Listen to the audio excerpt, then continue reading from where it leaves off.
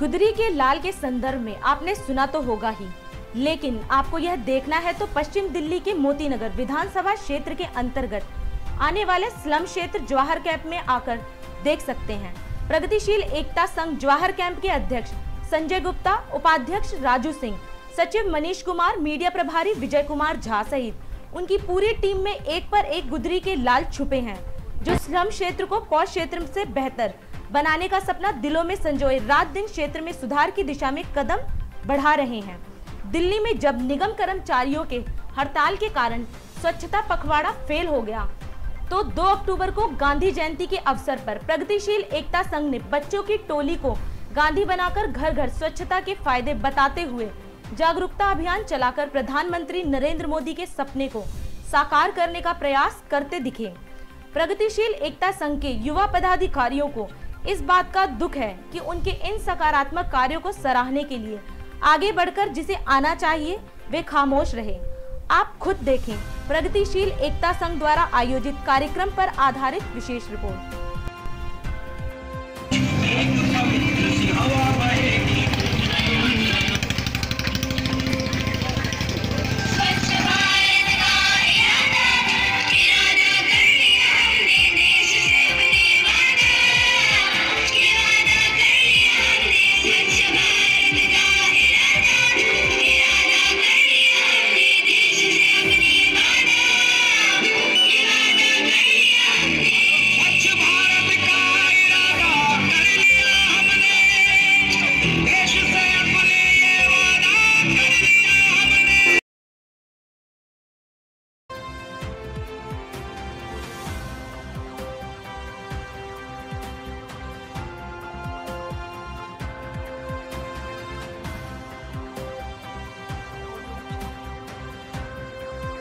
कांग्रेस ने चुनाव आयोग द्वारा शनिवार को संवाददाता सम्मेलन का समय बदले जाने को लेकर आयोग की स्वतंत्रता पर सवाल खड़े किए और परोक्ष रूप से यह आरोप लगाया कि प्रधानमंत्री नरेंद्र मोदी की जनसभा की वजह से आयोग ने यह कदम उठाया है।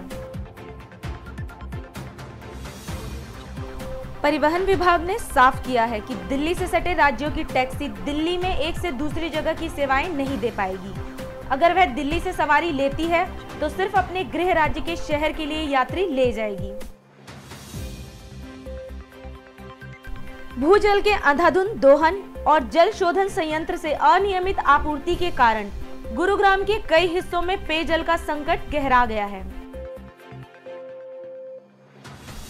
वोट बैंक की राजनीति करने वालों पर निशाना साधते हुए प्रधानमंत्री नरेंद्र मोदी ने कहा कि ऐसी राजनीति केवल चुनावों तक सीमित नहीं रहती बल्कि पूरी व्यवस्था को तबाह कर देती है। चुनाव आयोग ने मध्य प्रदेश, राजस्थान, छत्तीसगढ़ और मिजोरम में विधानसभा चुनाव की तारीख का ऐलान कर दिया है। इसी के साथ चारों राज्यों में आचार संहिता लागू हो गई है।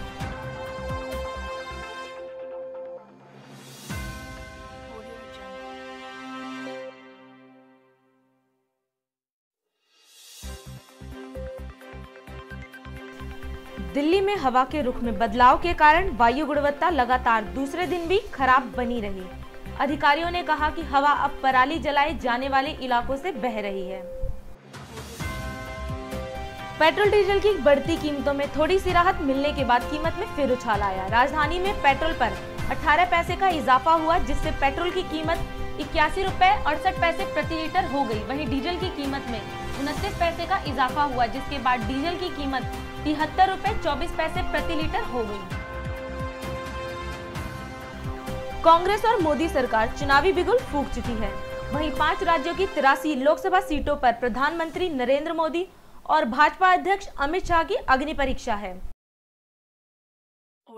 24 दिन से हड़ताल पर चल रहे सफ़ाई कर्मचारी बड़ी आस लेकर ईस्ट एमसीडी हेडक्वार्टर पहुँचे थे। सुबह से शाम तक चले फुल ड्रामे का रिज़ल्ट हड़ताली यूनियनों के बीच फूट के रूप में सामने आया। आईआरसीटी होटल घोटाले मामले में दिल्ली की पटियाला हाउस कोर्ट ने आरजेडी नेता तेजस्वी यादव, बिहार की पूर्व मुख्यमंत्री राबड़ी देवी और उपस्थित अन्य आरोपियों को नियमित जमानत दे दी। ये है डीआईडी में खबरें। अब तक इंतज़ार कीजिए, कल